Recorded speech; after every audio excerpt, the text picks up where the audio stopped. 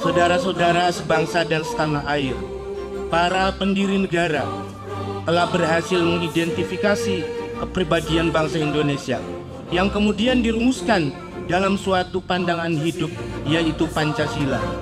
Perkembangan situasi global yang ditandai kemajuan teknologi komunikasi yang pesat menjadi tantangan tersendiri bagi bangsa Indonesia. Nilai-nilai Pancasila diharapkan dapat menjadi filter agar bangsa Indonesia tidak mengalami disorientasi di masa depan.